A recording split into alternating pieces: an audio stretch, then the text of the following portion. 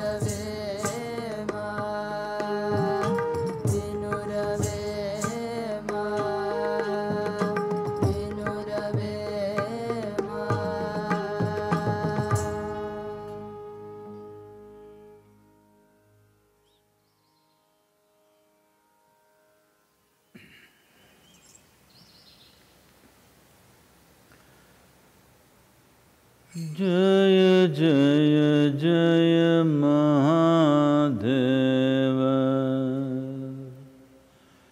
Jai Jai Jai Mahadev.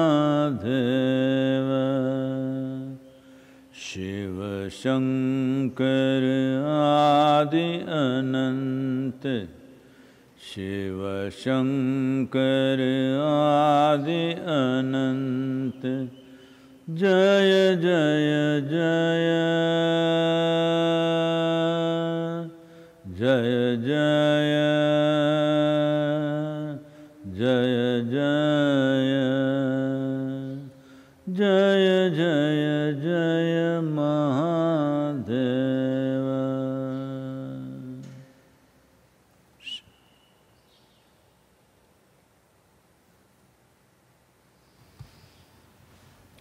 Namaskaram, tout le monde. Eh bien, cette terrible tâche de regarder le nombre de personnes qui ne s'en sont pas sorties aujourd'hui, malheureusement, on doit le faire. Aux États-Unis, le nombre total de cas a dépassé un million. Le nombre de victimes s'approche de 56 000, l'Espagne 23 000, l'Italie 26 000, la France 23 000, l'Allemagne 6 000, le Royaume-Uni 21 000, mais leur Premier ministre a repris le travail. C'est une bonne chose. L'Iran, presque 6 000, plus de 200 000 personnes sont mortes, 206 000 personnes sont mortes. En contraste, en comparaison plutôt, l'Inde s'en sort très bien. Le confinement a vraiment eu un, impact très positif. Eh bien, nous avons moins de 900 victimes au cours des dernières 24 heures. Environ 50 50 personnes sont mortes. Mais étant donné la taille et la densité de notre population, eh bien, la population de l'Inde dépasse, celle des États-Unis, de la Russie, du Canada, de l'Australie, de la Nouvelle-Zélande, de l'Europe, toute l'Europe, du Japon, de la Corée du Sud, de Taïwan et Singapour réunis. Mais on a seulement 900 morts. Donc, merci à tous nos... On les appelle les combattants du Covid aujourd'hui.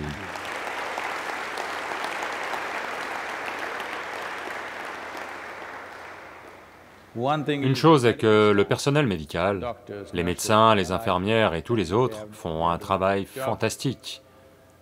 Mais le plus important, ce sont les forces de sécurité, la police, qui enseignent même Surya Namaskar dans la rue.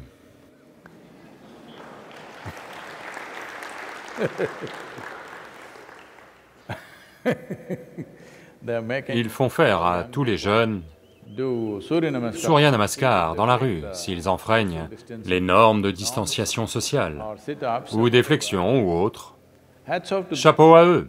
Autrement, les hôpitaux seraient inondés et notre euh, infrastructure médicale n'est toujours pas sous pression. Ils ont créé presque un quart million de millions de lits dédiés aux patients. Covid dans tout le pays. On en est loin. Ils sont tous vides et en attente. Donc, nous devons remercier la police nationale et les agences centrales, et bien sûr les dirigeants politiques qui se sont tous as rassemblés, quel que soit leur parti politique. Ils se sont tous rassemblés et ont mis en œuvre ce confinement. Maintenant, beaucoup d'États choisissent de prolonger le confinement de quelques jours ou semaines en fonction de leur situation.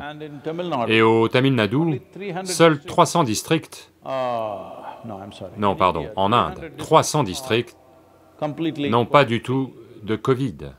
Dans 297 districts, aucun foyer. Seuls 127 districts ont des foyers. Dans 13 districts du Tamil Nadu, aucun nouveau cas au cours des cinq derniers jours. Merci à tous ceux qui ont rendu ça possible. Par-dessus tout, nous devons féliciter le peuple indien. Tout le monde pensait, ce sont les gens les plus indisciplinés et désorientés, mais ils...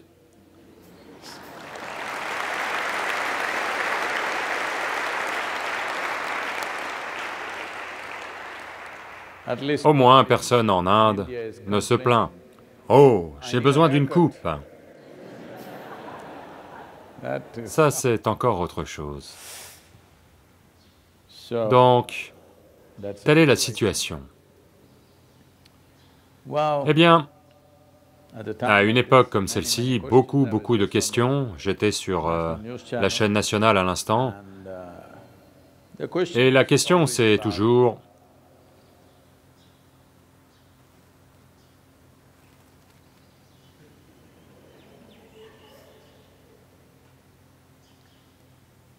Non, quelqu'un se sert de toutes les feuilles sèches pour moi, pas de problème.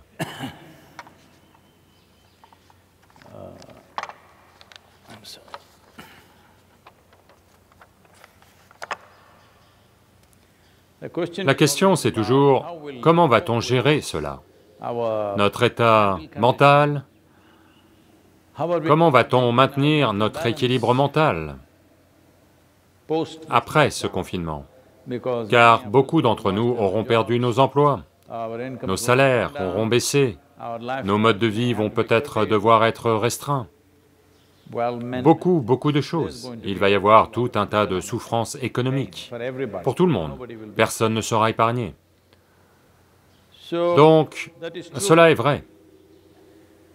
Mais lorsqu'une pandémie balaye le globe,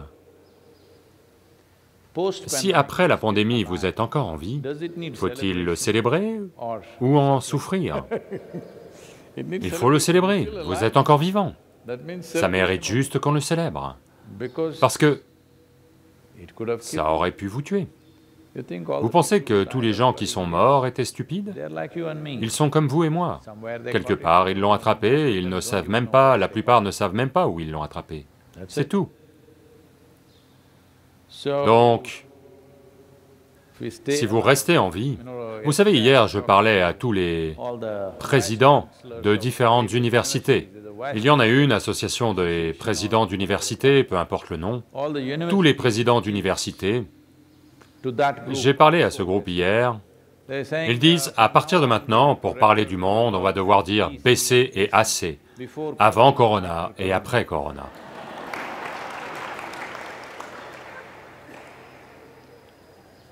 Les universitaires se préparent à une leçon d'histoire. Donc, si c'est comme ça qu'on le voit, il est temps de comprendre qu'on a passé trop de temps à réparer le monde, le réparer au point de le détruire. Normalement, le mot réparer quelque chose signifie améliorer quelque chose, le rendre meilleur. Quelque chose qui ne fonctionnait pas, vous l'avez fait fonctionner, ça veut dire que vous l'avez réparé. Mais nous l'avons réparé d'une autre façon, de façon destructrice, à tel point que presque tout le monde sait aujourd'hui que si on continue, non, pas comme vous êtes en ce moment, en confinement. Je dis que si on continue comme si de rien n'était, dans 20, 25 ans, 30 ans, il y aura un désastre majeur. Il n'y a aucun doute là-dessus. Il n'y a plus aucun doute dans l'esprit de qui que ce soit là-dessus, en ce qui concerne les impacts du changement climatique et ce genre de choses. Mais on a continué. Au moins, le virus a appuyé sur le bouton pause, pas stop, le bouton pause. Regardez comme on en fait toute une histoire. Pendant deux mois, si vous stoppez votre économie, est-ce que tout va disparaître? Non, non, ça ne marche pas comme ça. C'est comme ceci. Vous mettez quelque chose, disons que vous mettez ce récipient devant un miroir.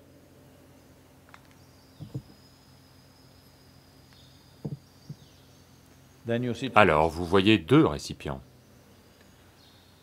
Puis vous installez une boutique avec deux récipients, et puis vous achetez un autre miroir. Alors soudain, 100 vous avez 100 récipients. Alors vous installez une boutique de vente en gros, 100 avec vessels. 100 récipients. Mais alors, un orage arrive, un virus arrive, un tsunami arrive, quelque chose arrive. 50 vessels 50 récipients disparaissent, et vous pleurez. Mais en fait, vous n'en aviez qu'un seul. Vous en avez toujours eu un seul. Donc la richesse qui est présente dans ce monde, les possibilités qu'il y a n'ont pas disparu. C'est juste que notre idée de la richesse aujourd'hui, c'est de la construire dans les airs. La bourse est un indicateur de notre richesse. Eh bien, c'est le genre de système économique qu'on a construit. Je ne fais pas de commentaires là-dessus. Mais on n'a pas besoin d'être aussi angoissé. Lorsque j'ai été interviewé par une des chaînes national nationales media about 10 years il y a une dizaine d'années, ils m'ont posé une question au sujet du marché boursier indien. Parce que ce jour-là, pour la première fois, je me trompe peut-être d'année, il y a peut-être 10 years, 12, maybe. 13 ans peut-être. Le marché boursier indien avait dépassé la barre 20,000. des 20 000. Never before. Jamais auparavant, il n'avait atteint 20 000.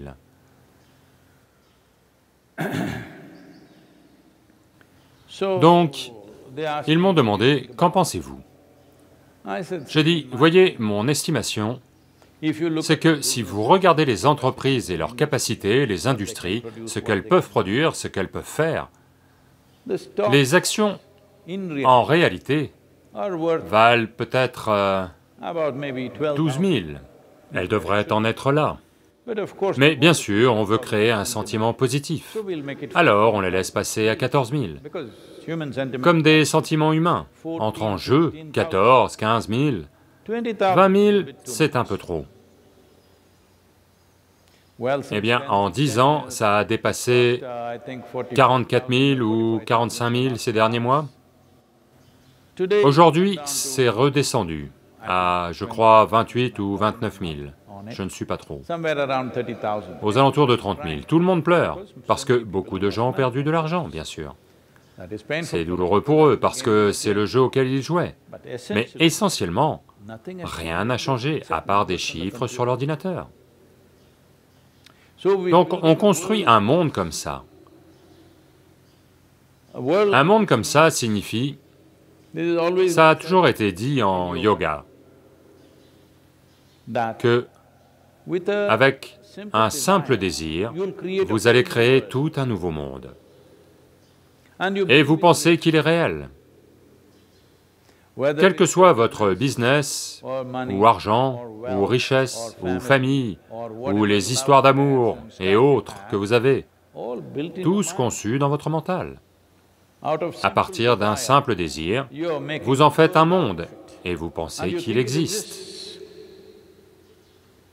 Quand il disparaît, que ça prenne la forme d'un tsunami, d'une tempête, de l'effondrement de la bourse, ou d'un virus, ou du décès de quelqu'un, soudain, vous êtes extrêmement perturbé parce que ce que vous aviez échafaudé dans votre mental a simplement disparu. Pas seulement vous, vous vous rassemblez tous et fabriquez la même chose. Là, c'est comme si c'était réel, c'est comme une religion. Tout le monde se retrouve, construit la même image dans son mental, ça devient réel. Ils commencent à voir le paradis, ils discutent de la même chose entre eux, ils construisent une toute nouvelle création à eux. Si quelqu'un de l'extérieur arrive et pose des questions, en général, il le tue parce que il menace la bourse. Il va faire s'effondrer le sentiment complètement. Donc il va à coup sûr y avoir de la souffrance en termes de... Ce qui me préoccupe, ce sont les plus pauvres qui vont... uh, qui pourraient être privés de leurs moyens de subsistance. Mais ils vont... En général, ils sont assez ingénieux. Ils vont trouver une solution avec un peu d'aide en les aidant pendant 3-4 mois. Ils vont trouver une solution d'une manière ou d'une autre. Mais en ce qui concerne les choses dont on profite, ça pourrait être un pas en arrière. Disons, si nous regardons en arrière, la façon dont on vivait il y a dix ans, tout ce qu'on avait, je ne parle même pas d'une génération, il y a seulement dix ans, où on en était et où on en est aujourd'hui. On a beaucoup, beaucoup plus de choses. Si on nous laisse 10 encore dix ans, on aura beaucoup, beaucoup, beaucoup plus de choses et ça va continuer sans fin. Mais sur cette planète, il n'y a pas plus. Il n'y a que one et il n'y a qu'un seul récipient. Le reste, ce ne sont que des images dans le miroir.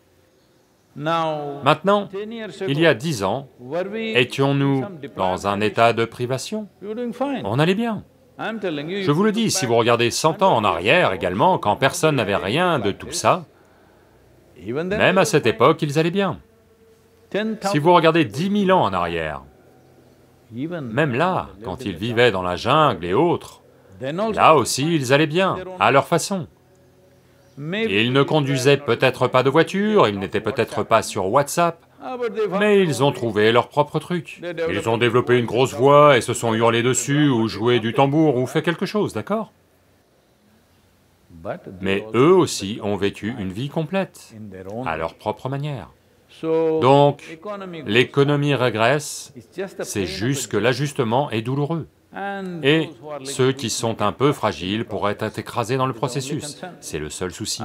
Autrement, le fait que l'économie régresse n'est pas un souci véritable, ce n'est pas un souci réel, ça va. Et de toute façon, comme on peut le voir, tous les oiseaux et animaux sont en train de dire Let's make the « Let's planet make the great planet great again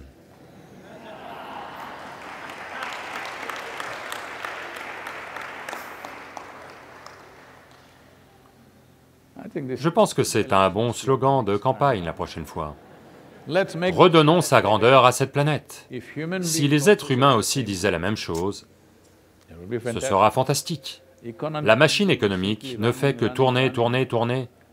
Vous ne pouvez pas la réparer quand elle est en marche, parce qu'elle tourne. Maintenant, ce virus a mis la machine économique en pause, à l'arrêt. C'est le bon moment pour la réparer, c'est le bon moment pour la réorganiser, parce qu'elle s'est arrêtée.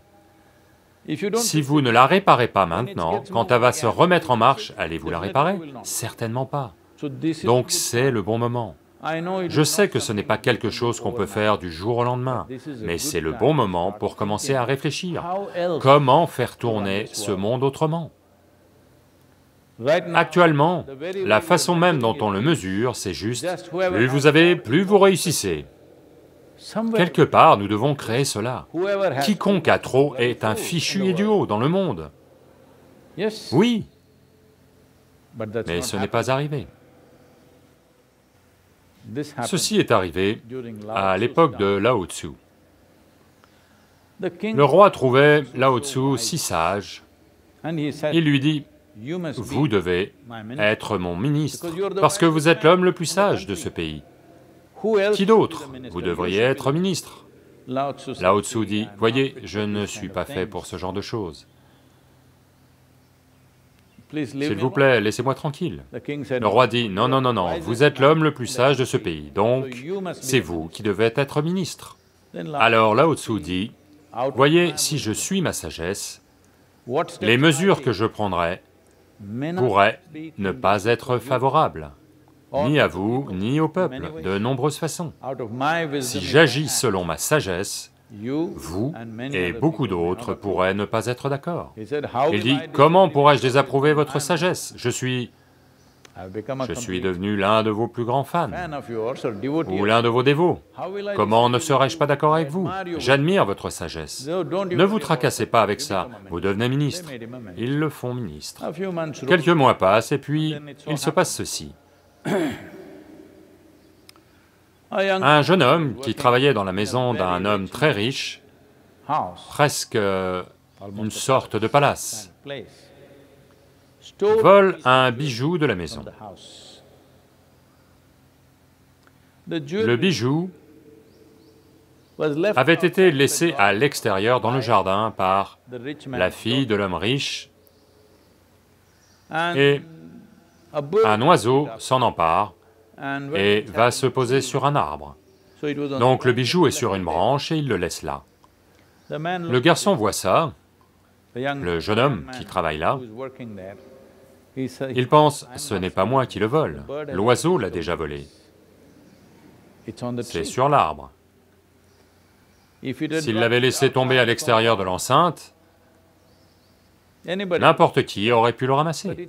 Mais il est sur l'arbre, et il a vraiment besoin d'aide financière. Donc il le ramasse et essaie d'aller le vendre, immédiatement attrapé. Alors l'homme riche veut qu'on lui coupe la tête. Je veux sa tête. Donc on l'amène au tribunal, Tzu est le juge ce jour-là. Il voit ça et dit, l'homme riche doit recevoir 50 coups de fouet. Et le pauvre doit recevoir 10% de la fortune du riche. L'homme riche s'emporte. C'est quoi ces histoires? Ce type a volé un bijou chez moi et je reçois 50 coups de fouet et je lui donne 10% de ma fortune. Il va voir le roi. C'est quoi ces histoires? Le roi est choqué. Pourquoi, Lao Tzu, l'homme le plus sage du pays, ferait-il une telle chose? Alors il appelle Lao Tzu et dit, « Qu'est-ce qui se passe Je ne remets pas votre sagesse en question, mais sur quoi ce jugement est-il fondé ?» Alors Lao Tzu dit, « Tout d'abord, pourquoi cet homme a-t-il tant amassé que lorsqu'un bijou précieux disparaît, il ne s'en rend même pas compte Ça veut dire qu'il a trop. Il a volé à tout le monde. Donc il a besoin de 50 coups de fouet. Et l'homme pauvre, j'ai regardé ses conditions de vie. Il a besoin de 10% de la richesse, donc ils doivent lui être donnés. Et il a été traumatisé, pensant que sa tête allait être coupée. C'est pour ça que l'homme riche doit payer, et que 10% de sa richesse doit aller à cet homme. Le roi le regarde et dit, « S'il vous plaît, vous devez démissionner. Votre sagesse, votre sagesse, je l'apprécie, mais on ne peut pas diriger cette nation en suivant votre sagesse. Donc, nous nous plaignons tout le temps. Mais voyez, les oiseaux sont en train de dire « rendons sa grandeur à la planète ».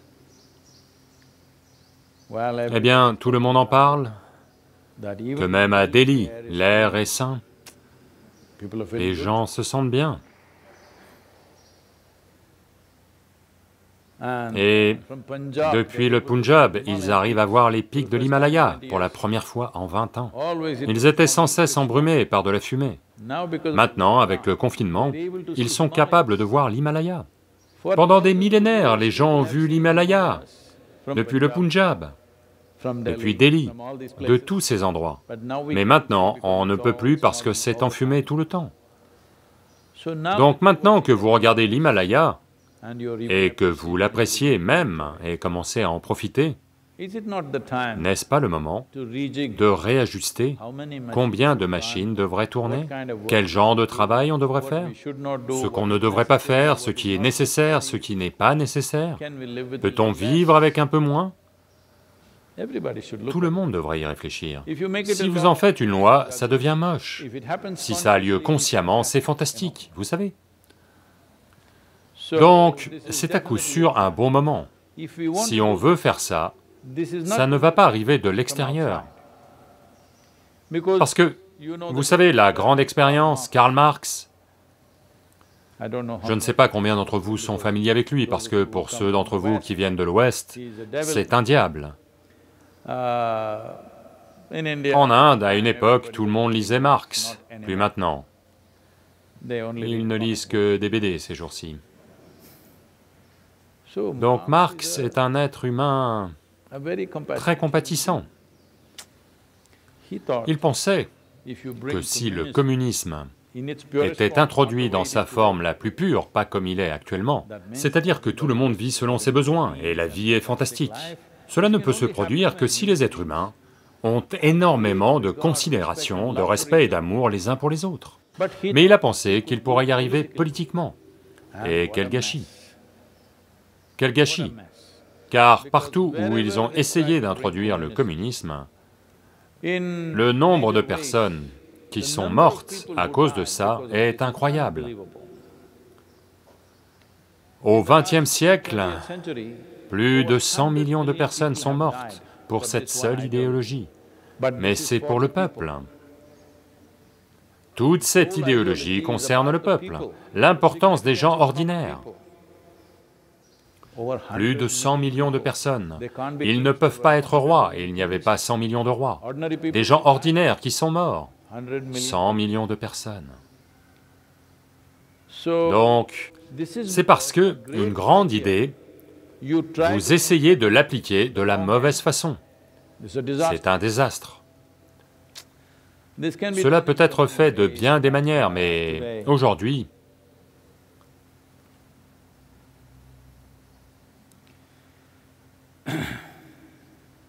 la raison pour laquelle le communisme a échoué, c'est que Marx, uh, en savait peut-être énormément sur l'économie et tout ça, mais il n'a pas réussi à comprendre la nature humaine. Il croyait sincèrement, il en parlait ouvertement, que la première nation qui deviendrait communiste serait les États-Unis, comme il s'est trompé. Monsieur Sanders essaie, mais ça ne va pas arriver. Il pensait, les nations les plus riches du monde vont devenir communistes. Ensuite, elles vont partager avec tout le monde, et nous allons créer un monde merveilleux. Excellente idée. Mais ce sont toujours les pauvres parmi les pauvres qui sont devenus communistes partout dans le monde. Aujourd'hui encore, ce sont toujours les pauvres parmi les pauvres qui sont communistes. Ce que cela signifie essentiellement, c'est que ceux qui ont quelque chose ne veulent pas partager. Ceux qui n'ont rien veulent partager.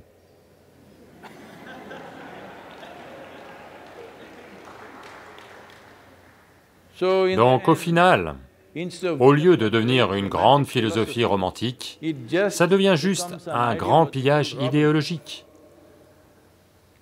Donc, vous êtes riche, je n'ai rien, je vais parler de partage, on sait d'où le partage viendra, vous n'êtes pas d'accord, on va vous couper la tête et la partager entre nous. Ça devient un pillage idéologique, malheureusement. C'est comme ça que ça s'est terminé. Ce qui était une grande philosophie, à cette époque, toute personne person pensante dans le monde était tellement excitée par le communism. communisme, ils pensaient, c'est la plus grande des idéologies, le monde va changer.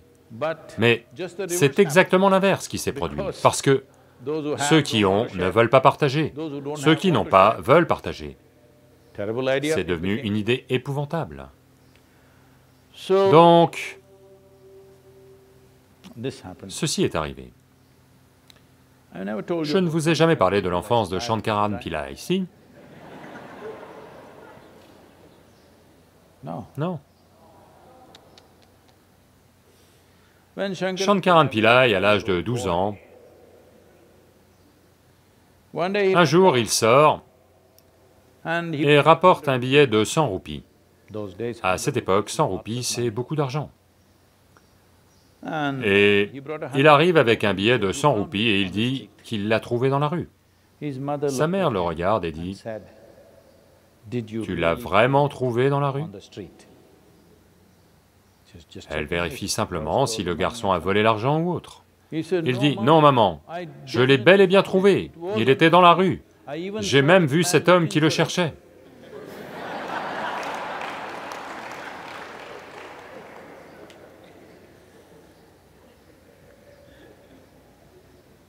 Donc, si ça vient de l'extérieur, ça va tourner au vinaigre. Même maintenant, je parle de réagencer notre économie, Ça ne devrait pas avoir lieu de l'extérieur, ça va à nouveau mal tourner avec des lois et de force. Cela ne va pas marcher. Ça doit avoir lieu avec un certain sens de l'inclusion. Quand, Parvati est allée vers Adiyogi, c'est une femme fière, une princesse. Donc elle voit les Saptarishi assis là, très dévoués et impliqués. Des années et des années passent, Shiva parle, parle et parle, essayant de transmettre cette science.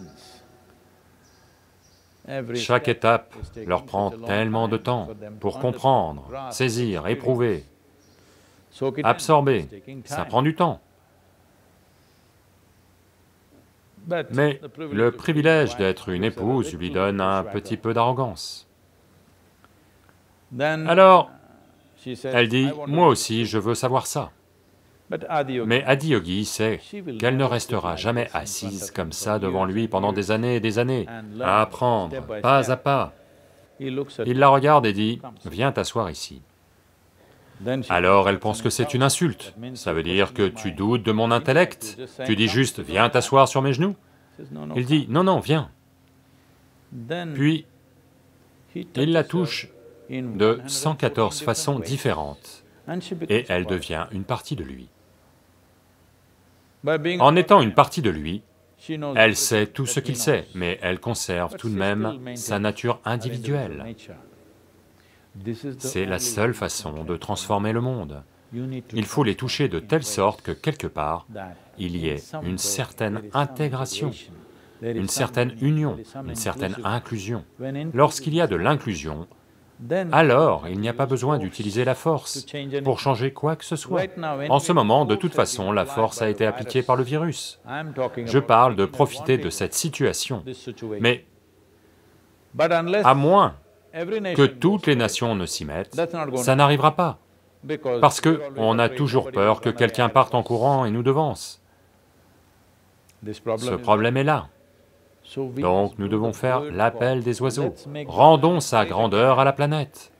Ce que les oiseaux disent, si le même bon sens pénètre chaque esprit humain, et que us nous commençons tous à penser en termes de rendre sa grandeur à la planète, plutôt que rendre sa grandeur à mon pays, parce que, comme je l'ai dit, au nom d'une idéologie, 100 millions de personnes sont mortes en un siècle. Au nom des religions auxquelles vous croyez, personne n'a compté. Combien de millions de personnes sont mortes? Un nombre sans fin de personnes sont mortes. La deuxième plus grande tyrannie est le nationalisme. Au nom de la nation, les gens meurent. Aujourd'hui encore, ils meurent fièrement. Oui, il est très nécessaire en ce moment de protéger les frontières d'une nation, la souveraineté d'une nation.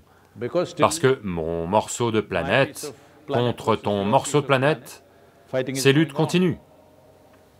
D'une manière ou d'une autre, nous devons assouplir les frontières des nations. Les frontières nationales doivent être assouplies. Cela n'est pas possible quand il y a tant de disparités économiques. Si l'on parvient à raisonnablement les équilibrer, c'est comme la poule et l'œuf. Qui devrait arriver en premier? Non, toutes ces choses doivent avoir lieu ensemble. Quelqu'un devra avoir la sagesse de rassembler toutes ces choses. Si les frontières nationales deviennent pas totalement effacées, au moins un peu assouplies, alors qui va construire une armée? Pourquoi? Vous savez, selon les situations intérieures, vous pouvez avoir une force, mais vous n'aurez pas les méga-forces d'aujourd'hui, qui sont capable capables de détruire la planète énormément de fois. Ils ont suffisamment d'armement. Même la prochaine planète sur laquelle on pourra aller, Mars qu'on aille sur Mars et qu'on veuille la détruire, pour elle aussi, nous avons assez de bombes et d'armements et tout. Donc on est prêt à détruire trois planètes, mais on n'en a qu'une. Vraiment avant-gardiste.